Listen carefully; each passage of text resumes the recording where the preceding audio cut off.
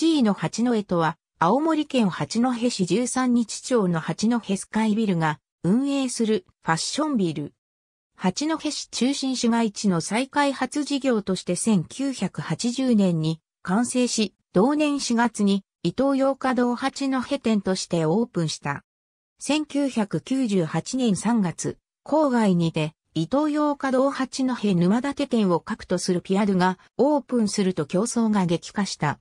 伊東洋華堂八戸店は2003年2月23日に閉店。ほぼ同じ時期に映画館閉館が相次いだことから市民出資による映画館を作る話が持ち上がる。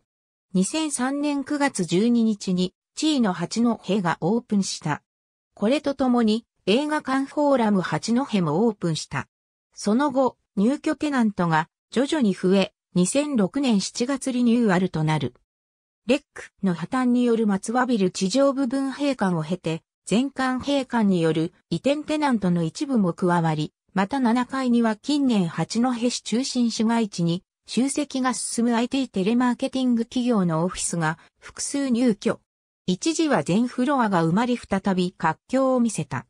近年では、エレベーターやエスカレーター、空調等の一部停止が続く中、テナント撤退が相次いでいる。